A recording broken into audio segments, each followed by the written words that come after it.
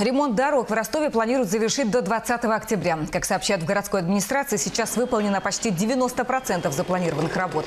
Покрытие обновляют в центре города. Идет ремонт основных транспортных артерий и маршрутов общественного транспорта.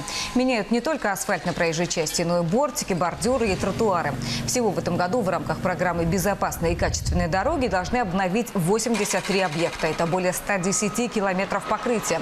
Добавлю, главная цель проекта – снизить количество аварийно опасных участков участков.